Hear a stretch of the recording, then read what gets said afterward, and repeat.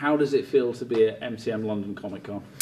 Ooh, it feels uh, monumental because I've never been to one. So, and I happen to be a comic geek, uh, have been since I was a kid, but I've just never managed to make it to a Comic Con. So it's a great opportunity to to come.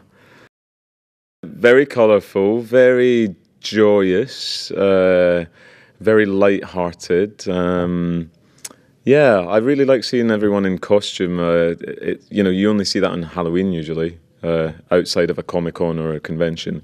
So seeing people pass by in the most amazing get ups is just gives you a real sense of kind of uh, joy, really. Well, for instance, uh, Colony Sarff, who was the um, security, the, the, head of security for Davros in Doctor Who, um, that was quite an intricate install into the costume, which took about four hours. Um, we'd get on onto the the studio lot about four o'clock in the morning. So uh, and then I'd have a little snooze in the makeup chair uh, while the latex was being applied. Either that or a banter with the the makeup uh, woman, who was a really good laugh, and that helped a lot. Passed the hours away, um, and then uh, you know it does. It's a process of about three hours just to get into the face which is the hardest bit of work because the rest was a, a, cloak, so that was actually quite easy. Um, and then by seven or eight o'clock in the morning, I would be on a Segway, uh, floating around in my cloak, being snaky, um, which you know required some coffee. uh, yeah, so that that was uh, Colony Sarff. The Veil, who uh, also a character I played in Doctor Who in the episode Heaven Sent with Peter Capaldi, where it was yeah just himself and uh, and myself. Um, that was uh, a lot quicker because really, essentially, it was just a, a, shell that I had to just get into. It took a couple of people to sort of strap me in. Um, my head was attached to the veil's head, which was much much higher above my head, so that when I moved my head, the veil would also move. Um, and then uh, thankfully, I could quite easily get out. Originally, I remember the first day on set, uh, Rachel Talalay, the director, said, so, how long do you think you can stay in there, Jami? That's a terrible Rachel Talalay imperson- impersonation. Um, forgive me, Rachel. Um, but uh, and she was hoping I could stay in there sort of for three or four hours at a time, which with the Sarff makeup, it's light once it's glued on, but uh, the veil was quite heavy. But luckily, the the women who were strapping me in and out of the costume got it down to a fine art. So we got it down to about 15 minutes, I think, in and out, so I could take breaks. And when Steven Moffat came down to uh, to see me, I was half in and half out with my face half out, texting someone on my phone, which sort of ruined the illusion for him slightly. As you say, Doctor Who's such an institution, very long running show. I remember it from uh, Tom Baker was my doctor, um, who I got to meet at a convention recently, and that was a really, really special moment for me. Um, and also um, coming into into the Peter Capaldi era for me, he kind of he holds something of that Tom Baker magic. Uh, I guess in in the new Doctor Who, since it's come back, he's definitely the the most senior Doctor, um, apart from perhaps David Bradley. Um, but for me, he sort of uh, evokes something of that that Tom Baker era, uh, along with his absolutely own unique personal Scottish touch, which I appreciate.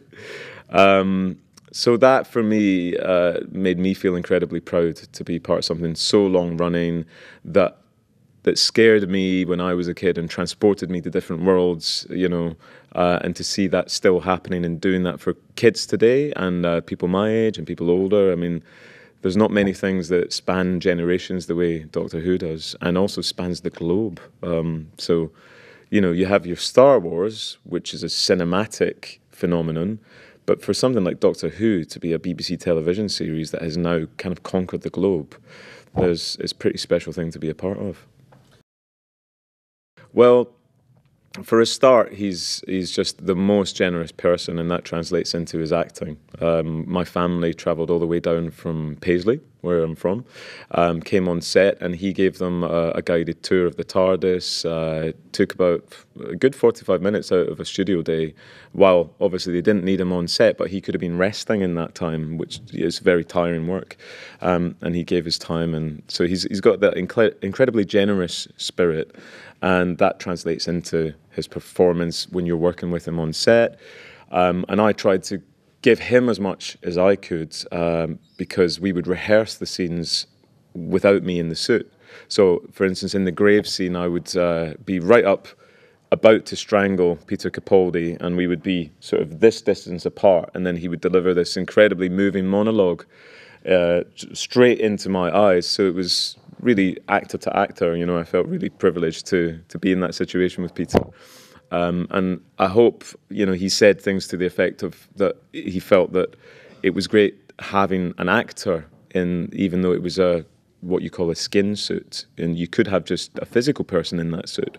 But because we had to rehearse these scenes uh, with such intensity, and I could be there for him as an actor and give him the same energy back, I think that's something that he appreciated as well. So it just an, a dream job, really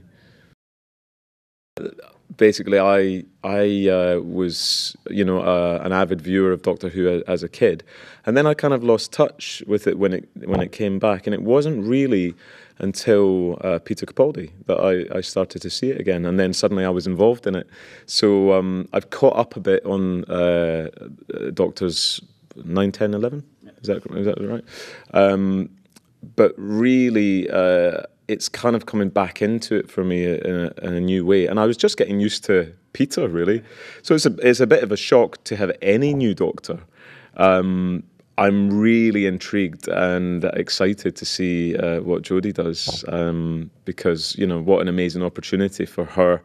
The first female doctor, absolutely groundbreaking, um, really exciting. You know, and in a way, it's also a, a clean slate um, because it's the first female doctor. You know, she can really go wherever she wants with that. I guess along with the, the with the thoughts of, of Chris Chibnall.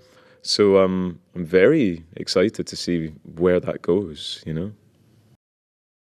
I'm doing a bit of touring around the world with a, a show that I just did in Edinburgh called The Choir of Man, uh, which is essentially a singing show, but it's it's really about um, fraternity um, friendship between men, nine men singing, set in a pub.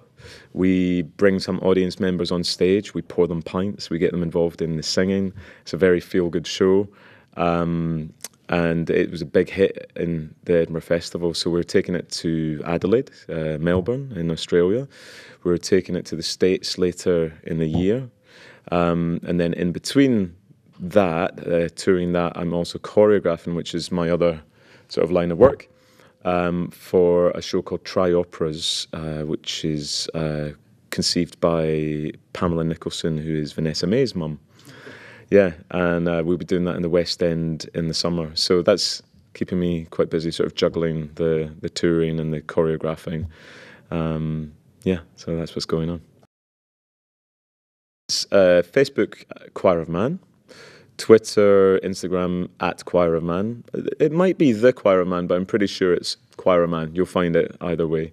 Um, Operas is on at the Peacock Theatre uh, from we open on May the 19th, and it will be on for six weeks. Incredibly exciting show. Uh, condensing three operas into half hour each highlights, along with amazing visual representations that involve wire work, martial arts, trampolining, hip hop. Really exciting things for a whole family to see. So um, that's something, you know, something else to have a look at. Tri operas.